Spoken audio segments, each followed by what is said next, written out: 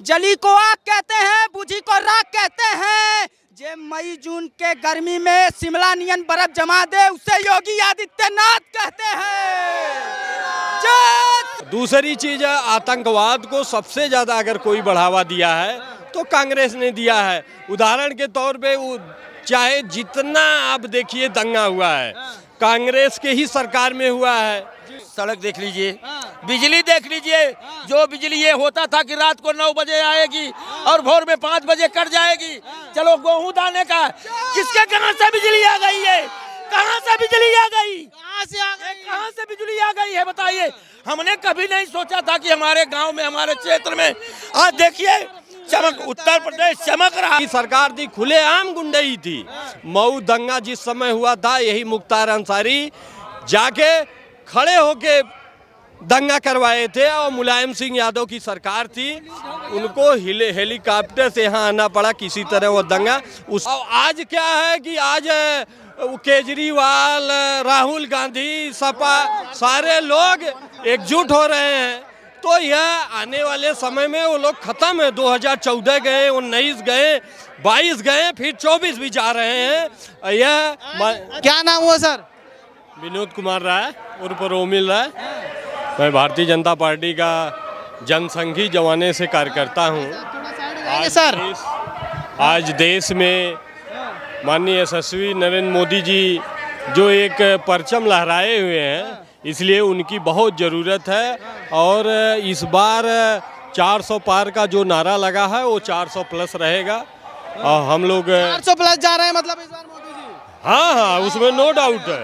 राहुल गांधी जी कहाँ राहुल एकदम ज़मीन में चले गए हैं वो तो जाएँगे इटली जाएँगे राहुल। इटली क्या करेंगे जाके? अरे वही बार बार जाते हैं। पापा का देश है हमारे रोज खत्म होगा फिर इटली जाएँगे। पिताजी की बात को सुन उनके ननिहाल हम क्या बताएँ जो निहाल क्यों जाएँगे? अरे काहे नहीं जाएँगे? जब छुट्टी मिलती इलेक्शन से ननिहाल चले जाते हैं। कहाँ रहते हैं? यहाँ क्या देखते हैं? तो रहते हैं कह रहे पूरे टाइम हम कुछ नहीं देश में देते हैं। क्या जानते हैं देश के बारे में यार? मोदी जी के खिलाफ तो हमेशा लगातार आवाज़ उठाते रहते हैं वो। आवाज़ सही उठाओ ना यार। सही का आवाज़ उठाओ गलत उठाने से थोड़ी कुछ होता है। हर बार गलत बोलने से हर बार झूठ साबित पर समेट देंगे। हर बार झूठ साबित वो तो बोलेंगे ना यार। हर बार झूठ साबित होता है। हर बार झूठ साबित होता है। होता ही। है क्या झूठ साबित तो क्या क्या नहीं झूठ साबित हुआ बताओ। राफेल का हुआ सबका हुआ कि, किसका किसका लोग बताओ। आके माफ़ी मांग लेंगे। बताओ। सदन में भाई इस बात पर सदन में बिल फाड़ने का काम किए थे क्या वो अच्छा किए थे? जब उनकी सरकार थी मनमोहन जी प्रधानमंत्री थे उनका जो बिल पास हुआ वो जाके फाड़ दिए। क्या यह उनका यह अच्छा संस्कार था या उन्हें एक अच्छे हम नेता बताएँ या क्या कहें? दूसरी चीज़ है आतंकवाद को सबसे ज़्यादा अगर कोई बढ़ावा दिया है तो कांग्रेस ने दिया है। उदाहरण के तौर पे चाहे जितना आप देखिए दंगा हुआ है कांग्रेस के ही सरकार में हुआ है। आप चाहे बॉम्बे का देख लीजिए चाहे काशी विश्वनाथ मंदिर पे बम ब्लास्ट हुआ था। आए दिन जो भी दंगा होती थी कांग्रेस और सपा की जब सरकार थी दंगा होते थे।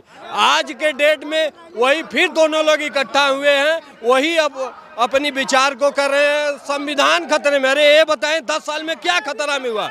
आज भी बारह राज्यों में कांग्रेस की सरकार है। वो क्यों नहीं वहाँ अपना? बल्कि वही बदल देंगे। इंदिरा गांधी के जमाने में इमरजेंसी लागू की गई थी। संविधान में संशोधन किया गया था। वो तो कह रहे हैं इस राज में मोदी राज में है डिक्टेटरशिप तानाशाही हो रही है। क्या तानाशाही हो रही है? ईडी सीबीआई छोड़ दिया ईडी सीबीआई उनके जमाने में भी थी। वो क्यों ना हुआ ईडी सीबीआई पकड़े? 2002 का गोधला कांड हुआ अगर वो सत्य साबित करना था तो ईडी सीबीआई करके प्रूफ करना चाहिए ना। उनके कहने से तो होगा नहीं। उनके कहने से तो होगा नहीं। केजरीवाल जी है। कह रहे हैं योगी जी को हटाने की प्लानिंग चल रही है भाजपा। देखिए वह जेल से आए हैं तो दूसरा क्या कहेंगे? केजरीवाल जी जेल से आए हैं। पंद्रह दिन के पेरोल पे आए हैं। अब अभी तक तो उन्होंने कांग्रेस के खिलाफ ही अन्ना हजारे और भ्रष्टाचार के खिलाफ इतना मुहिम चलाए और आज क्या है कि आज केजरीवाल, राहुल गांधी, सपा, सारे लोग एकजुट हो रहे हैं। तो यह आने वाले समय में वो लोग खत्म है। 2014 गए उन्नीस गए 22 गए फिर 24 भी जा रहे हैं। यह अच्छा आपने एक कांड एक एक्सीडेंट का अभी बहुत चल रहा होगा न्यूज़ में देखा भी होगा आपने। पुणे में एक एक्सीडेंट होता है जिसमें पॉश गाड़ी से एक बाइक को ठोकर मार दी जाती है। तो उस पर राहुल गांधी कह रहे हैं कि मोदी जी ने देश को दो हिंदुस्तान में बांट दिया है। जिसमें एक में न्याय का न्याय का मोहताज पैसे से होता है।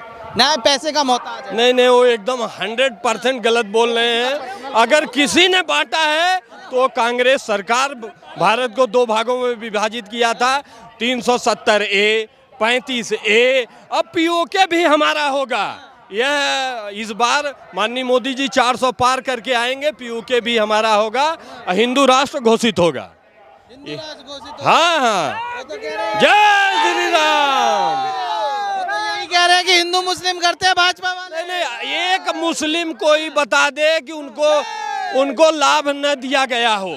चाहे एक मुस्लिम भाई खड़े थे कह रहे हैं कि अत्याचार होते हैं ऐसा नहीं, वही बताएँ क्या अत्याचार हुआ? ये बताइए। बोला उनको तो ये भी नहीं पता था कि लोग सब हमको ये चीज़ बताइए कि मुख्तार अंसारी क्या अच्छे थे? अतीक अहमद अच्छे थे, आज भी अतीक अहमद के गाँव में जिस दिन वो जेल में थे और उनके गाँव में आप चले जाइए, उनका वही धौंस थी। किसी के पास, किसी कर्मचारी के पास हिम्मत नहीं था उस गाँव में जाके।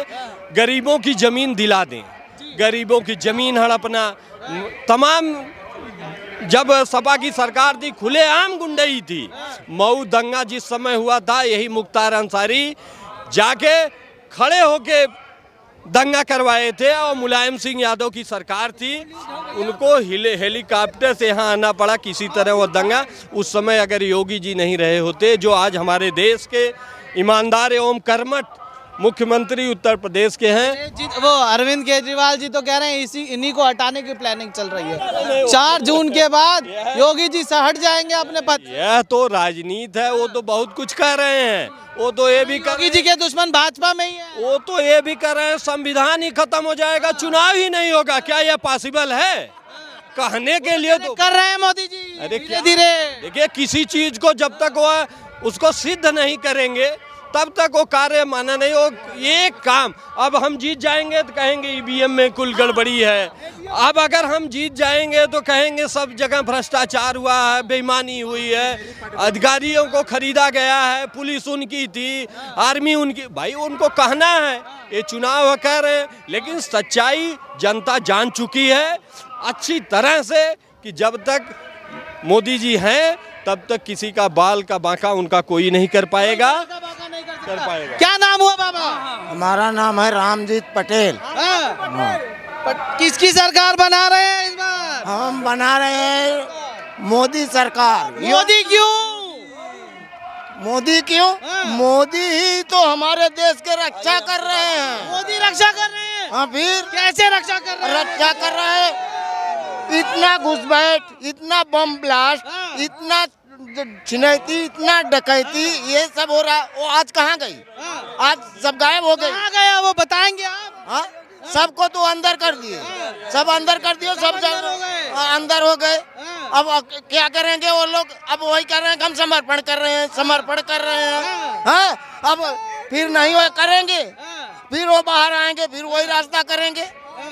हाँ, यही बात है। यही बात है। पर ले सारा विपक्ष तो कह रहा है मोदी जी तानाशाही है। करते हैं तानाशाह है। कौन का क्या तानाशाही है उसमें? क्या ईडी सीबीआई छोड़ देते हैं। मुख्यमंत्री को जेल में बंद कर देते हैं। जब जब वही हारेंगे हारेंगे तो कहेंगे यही मशीन खराब है। ये ऐसे कर दिए गए। और उनकी सरकार भी। हैक कर लेते हाँ। हाँ वो भी कर देते हैं। पर सवाल ये है जितना हमारे लिए हाँ। योगी और मोदी जी कर दिए उतना आज क्या कर दिया जनता के लिए मोदी जनता के लिए राशन से पैसे से हर एक चीज़ से और सुरक्षा औरत को औरत को आदमी को सबको सुरक्षा से। सुरक्षित है। सुरक्षित है। आप सुरक्षित हैं? हाँ सुरक्षित है। तो पहले क्या दिक्कत थी कि पहले सुरक्षित पहले तो बहुत ज़्यादा दिक्कत थी। हर एक चीज़ पुलिस के लगे जाओ तो वो भी वो भी ताना मारे। सो सीधा डकैती सीधा छिनैती सीधा घुसपैठ सारी चीज़ करते थे। तीन सौ सत्तर हटाने के लिए किसी में इतना दिन प्रधानमंत्री सब आए और गए कोई हटाया? हाँ। कोई नहीं हटाया। और रोज हमेशा पत्थरबाजी और घुसपैठ होती थी। हमेशा। हाँ? अब रुक गया है सब। और रुका है? क्या नाम हुआ? हमारा नाम शिव भजन तिवारी है। हाँ, तिवारी जी। इसकी किसकी सरकार बना रहे हैं? अरे हम तो हमेशा मोदी की सरकार बनाएँगे। हमेशा मोदी मोदी को तो दो ही बार हुआ अभी। नहीं तो हम हमेशा बनाएँगे अब ना।